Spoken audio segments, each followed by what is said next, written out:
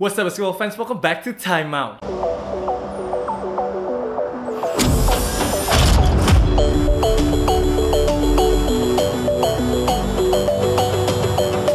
Baik, Bang Guru Kipadila, kita kembali lagi ke Info Basket hari ini edisi 8 Oktober 2020.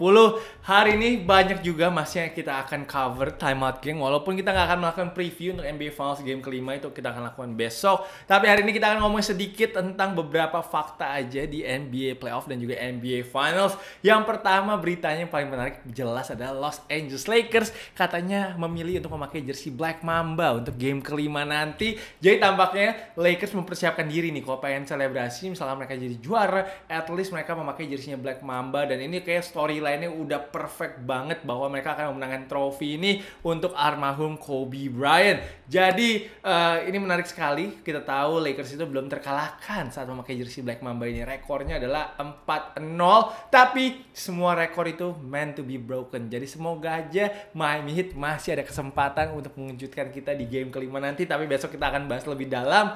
Nah, uh, Lakers juga ini sangat luar biasa sekali mereka memiliki rekor 56-0 sekarang ini saat mereka bisa unggul di akhir kuarter ketiga. Jadi di game kelima Heat nggak boleh nih sampai Lakers unggul di kuarter ketiga. Gue selalu mikirin itu sih setiap pertandingan. Jadi kalau Lakers udah unggul kuarter ketiga pasti udah kayak ah, udah pasti menang deh karena mereka belum terkalahkan selama 56 game saat mereka unggul di akhir kuarter ketiga. Oke, sekarang gue mau bagi stats tentang LeBron James ini menurut gue kenapa LeBron James itu bila bisa memenangkan cincin satu lagi bersama Lakers ini harus ada di conversation untuk the greatest player of all time karena menurut gue luar biasa banget rekor semua sudah dia pecahkan banyak sekali dan di playoff kali ini dia berhasil mencetak 512 points, uh, 199 rebound dan juga 167 assist. Ini dalam playoff ya, bukan hanya finals. Jadi seluruh keseluruhan ini dan dia masih akan bermain satu game lagi kalau memang Lakers bisa memenangkan game berikutnya. Dan hanya tujuh kali saja terjadi seorang pemain itu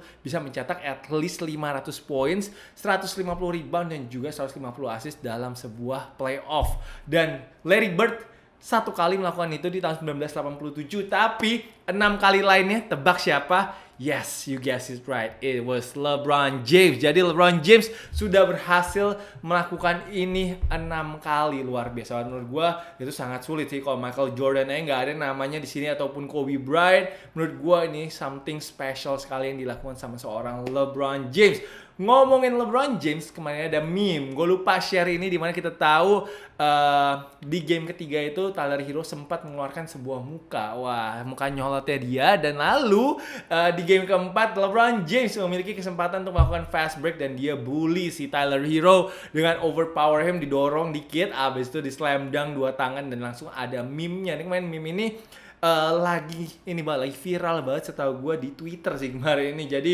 uh, kasian juga sih rukinya ini si Tyler Hero langsung dibully sama LeBron James. Tapi walaupun dia dibully sama LeBron James kemarin ini Tyler Hero memecahkan rekor untuk 3 point terbanyak yang dilakukan oleh seorang rookie di NBA playoff. Dia tahun ini sudah mencetak 45 3 point shots di dalam playoff aja ya guys, di dalam playoff saja. Dan dia melewati rekornya Matt Maloney yang seingat gue merupakan pemain dari Houston Rockets ini tahun 97 rekornya dulu dibuat uh, 43 3 point shot tapi kali ini dipecahkan sama Tyler Hero yang mencetak 45 uh, 3 point shot. Oke, okay, Jimmy Butler juga berada di elite company di uh, NBA Finals ini di mana di 4 game pertamanya ini dia berhasil average 27,5 poin per game dan juga 10 assist per game.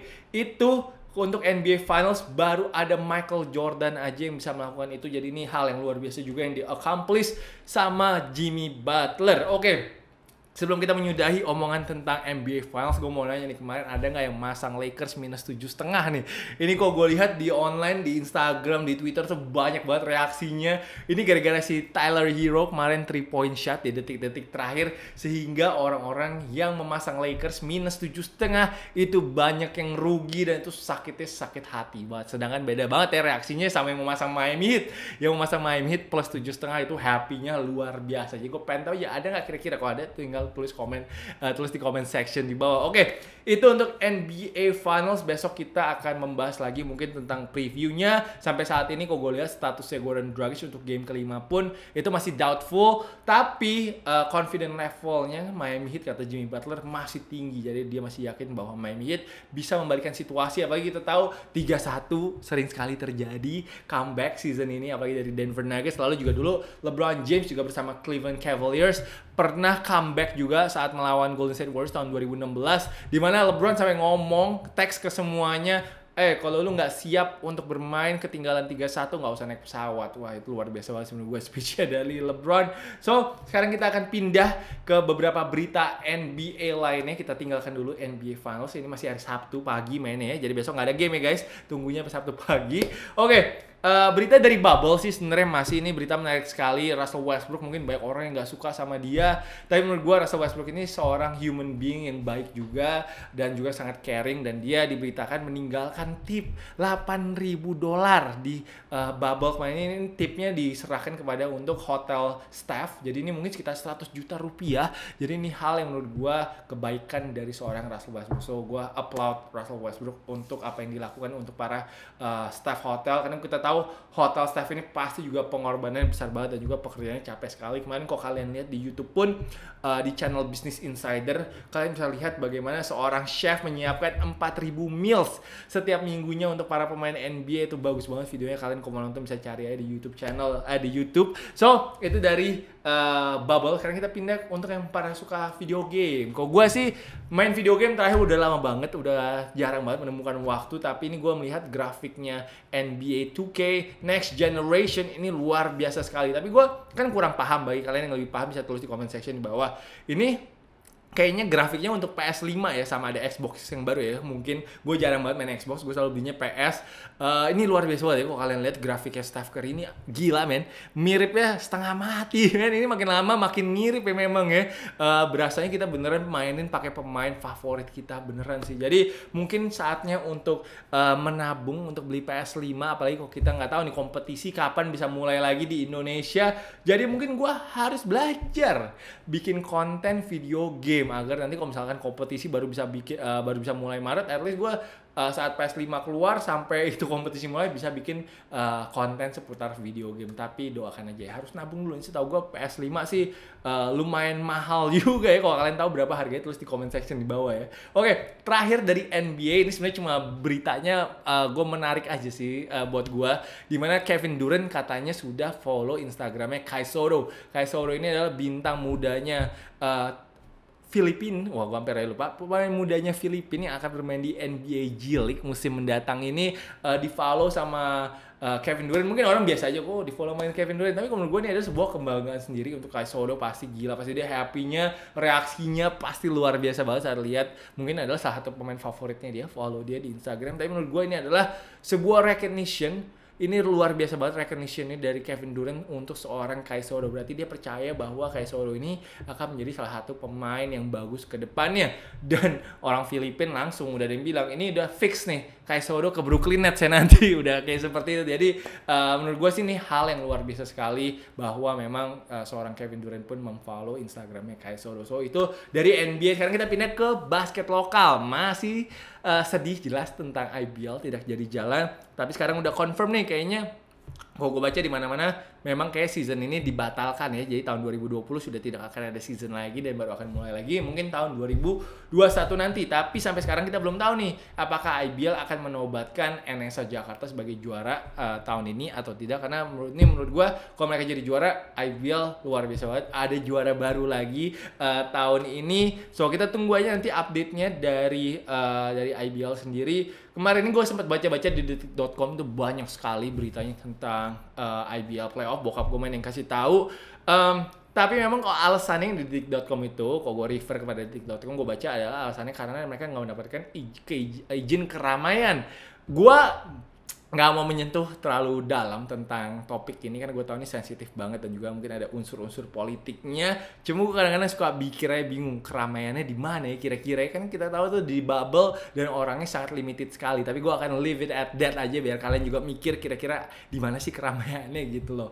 So itu aja. Tapi kemarin gue juga sempat ngobrol dengan beberapa owners jelas mereka kecewa ya owners ini uh, mempersiapkan timnya uh, udah keluar uang juga. Kita tahu kan mereka harus latihan harus makan harus ikut tes tes kesehatan. Tuh semua biaya sudah keluar. So gue juga pengen mengapresiasi para owners ini yang cukup serius untuk mempersiapkan diri, uh, mempersiapkan timnya untuk IBL Playoff tahun 2020. So, so shout out to all the IBL owners. Uh, eh, gue tahu terutama uh, seperti Satria Muda ya gue tahu Satria Muda ini sudah sampai mendatangkan pelatihnya lagi dari Serbia si coach Milos Pages. Itu juga nggak murah biayanya dan mereka pun kalau gue lihat di Instagramnya selalu pindah-pindah latihannya karena di Jakarta PSBB mereka harus pindah ke Bogor uh, juga sempat ke Tangerang terus sempat ke Bandung juga. Jadi itu juga banyak sekali biaya yang dikeluarkan so masih sedih tapi ya kita harus menerima kenyataan dan move on bahwa memang IBL playoff ini tidak bisa dijalankan. Terakhir, ini ada pertanyaan dari seorang subscribers gua kemarin ini yaitu